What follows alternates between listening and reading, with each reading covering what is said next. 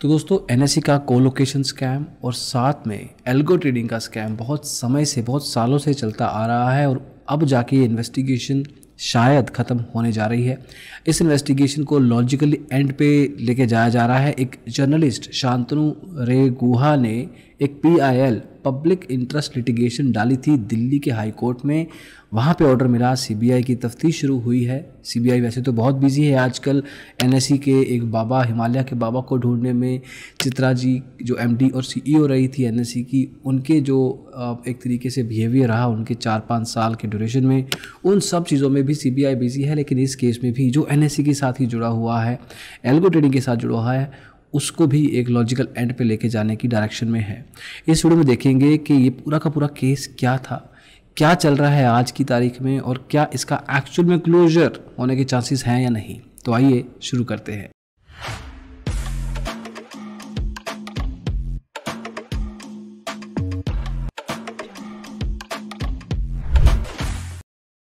अब दोस्तों, जो एन का कोलोकेशन स्कैम है ना, और एल्गोटेड स्कैम है इसको एक्चुअल में जोड़ा जा रहा है चित्रा जी के साथ आनंद सुब्रमण्यम के साथ जो कि हिमालय बाबा के जिस वीडियो में हम आप, हमने आपको बताया था ना कि उन्होंने सारा का सारा जो डिसीज़न मेकिंग प्रोसेस था एक हिमालय के बाबा के थ्रू किया। लेकिन एनएससी के कोलोकेशन स्कैम को इस पर्टिकुलर पॉइंट के साथ जोड़ के देखा जा रहा है। इस PIL में डिटेल में बताया गया है कि किस तरीके से ये सब कुछ जुड़ा हुआ है और मोस्ट लाइकली ये जो हिमालय बाबा हैं, कोई बाबा बाबा नहीं है this is a third party जिनको एक तरीके से इस सब चीज़ों का प्रॉफिट मिलता रहा है। हाँ बोल दिया गया है ताकि एक हादसे की बात बन सके, एक मज़ाक की बात बन सके और इसको ऐसे ही टाला जा सके, एक लापरवाही की बात समझी जाए। लेकिन एक्चुअल में इसको एक स्कैम की तरह देखे जाने की डायरेक्शन में बात हो रही है। क्या बात हो रही है?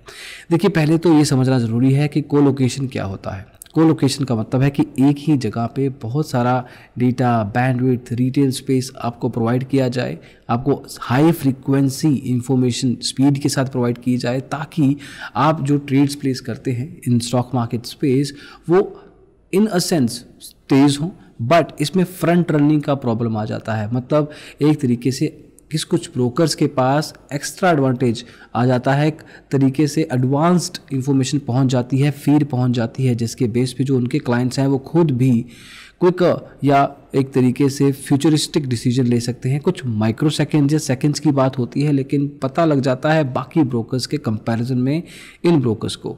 तो एक तरीके से पैसा दे के प्रेफरेंशियल एक्सेस मिलता है, एक जो जेन्युन फेयर प्ले ग्राउंड होता है, वो नहीं रहता। अब 2010 से लेकर 2014 के बीच में ये सब चीज़ें होती रही हैं। एन एनएससी कोलोकेशन में अलाउ किया गया है कुछ ब्रोकर्स को। एक वीडियो में हम आपको ये भी बताएँगे आने वाले समय में, या तब तक आ चुका होगा कि दो ब्रोकर्स को बैन भी बैन नहीं रहा दो पेनलाइज पेनलाइज किया गया था फाइन लगाया गया है। बट वापस आते हैं अगर इसी बात पर तो ये बताया जा रहा है कि जो चित्रा जी हैं, उन्होंने बिना किसी रीज़न के मिस्टर सुब्रमण्यम को हायर किया। पंद्रह लाख की सैलरी पे जो काम करते थे, उनका घर, उनका ऑफ़िस, इन दोनों का सेम फ्लोर पे था। जो एमडी और सीईओ मिस चित्रा, उनका जो केबिन था, उस केबिन के साथ जो सुब्रमण्यम जी थे, वही केबिन उनका भी था मतलब साथ में केबिन था उनका आसपास, और एक कॉमन डोर हुआ करती थी। ये सब पीआईएल में डाला गया है, लिखित में दिया गया है दिल्ली हाई कोर्ट को। और बिना किसी के परमिशन मतलब अगर आनंद सुब्रमण्यम से परमिशन आप नहीं लेंगे तो आप मिस चित्रा से नहीं मिल सकते। तो एक तरीके से ही was the entry point to anyone who wanted to have a word with the M D and C E O of N S C plus at the same time जो डिसीज़न मेकिंग प्रोसेस है, उसमें ये दो लोग तो definitely हैं। तीसरे mister कोई हैं जो हिमालय के योगी बाबा हैं। बट मिस्टर सुब्रमण्यम के बैंक अकाउंट से हर महीने एक वैल्यू दी जाती थी as gratitude to third party वो थर्ड पार्टी मोस्ट लाइकली यही बाबा जी थे। एट द सेम टाइम बिना किसी बात के ये पैसा आउटफ्लो हो रहा था एनएससी के बैंक के खातों से।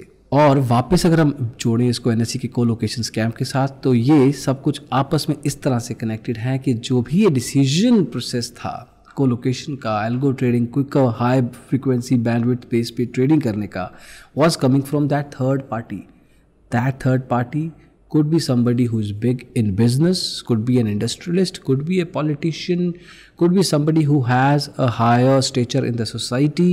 ये कौन है? अभी पता नहीं है।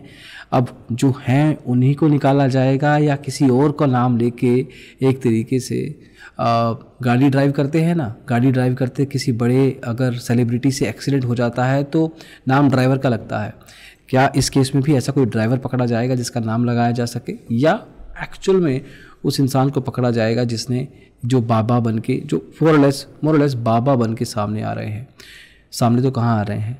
तो this is what's going on अभी क्लियर होगा या नहीं? As of now it seems that C B I is doing up quite a bit in terms of uh, raiding the house and offices of Miss Chitra and Mr. Subramaniam उनसे तफ्तीश क्या? है उनसे बात हो रही है। उनसे पाँच छः घंटे की इंटेरोगेशन सेशन चल रहे हैं। Let's see what comes out कहाँ ब्रेक होती हैं मिस चित्रा और एक्चुअल में सच्चाई क्या बताती हैं?